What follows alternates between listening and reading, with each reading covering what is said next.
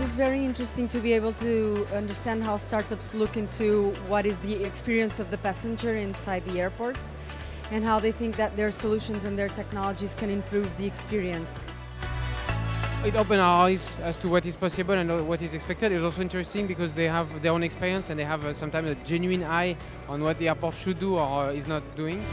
What was interesting is to see the diversity of uh, proposal that we had, uh, which show really the potential for innovation in our airports. It was very obvious that everyone is concerned about when you get to the airport, what happens to you from the moment you get to the airport, from the moment you get into the airplane. So that was a very evident trend about the type of information that is given to the passenger during that moment. We appreciate that people from outside give their opinion so we can improve. And I think that this morning we can look and see what the passengers, when they are passengers, think about our airport and what are the areas that we can improve. And there are some ideas that we can develop and we can work at it and try to be better.